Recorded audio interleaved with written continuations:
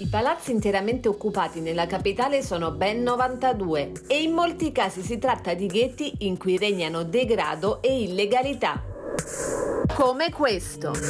Un palazzo di otto piani che nella lista dei 20 immobili da sgomberare stilata dall'ex prefetto Piantedosi compare all'ottavo posto. Da vent'anni pian piano è diventato un covo della criminalità. Tanto che viene presidiato notte e giorno da vedette che controllano ogni movimento intorno all'edificio ex Impdap, di proprietà di un fondo immobiliare le cui perdite in termini di utenze e tasse supererebbero i 20 milioni di euro. Oggi qui dentro vivono 500 persone, per lo più rifugiati, che sembrano rispettare in silenzio le regole imposte dai capi. Abbiamo ovviamente prostituzione, abbiamo droga, e abbiamo il racket degli affitti e delle vendite a nero dei posti letto. Eh, siete sto facendo un servizio sulle varie occupazioni di Roma. Come un altro giorno non potete parlare. No, no. C'è altre persone. Posso disturbare? Sono una giornalista. Non potete parlare. Non si può entrare? No.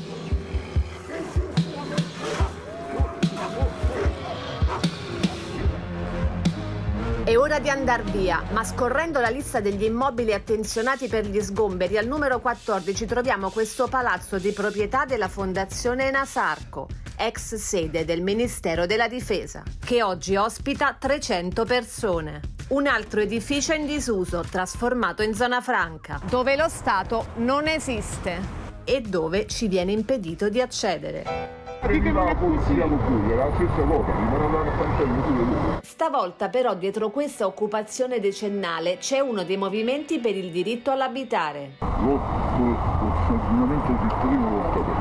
Lo stesso che in questi giorni è al centro dello scandalo sulle presunte chat che vedrebbero l'assessore Tobia Zevi discutere del piano casa di Roma con i leader delle occupazioni abusive. Si può entrare qua? No, ma pure per entrare, per prendere una persona, devo accompagnare io.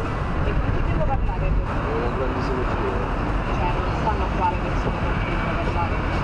Sono a porta sugli altri. Dove c'è un'altra occupazione. Sì, sì, lì sono i gatti. Insomma, il quartier generale del movimento avrebbe sede proprio nell'ex caserma occupata di via del Porto Fluviale. Lo stesso edificio per la cui riqualificazione nell'ottobre scorso il comune ha approvato un progetto da 11 milioni di euro, che prevede anche la regolarizzazione degli occupanti. Ci sono alcune persone che volevano fare le domande, stanno qua sotto. Che cosa gli devo dire?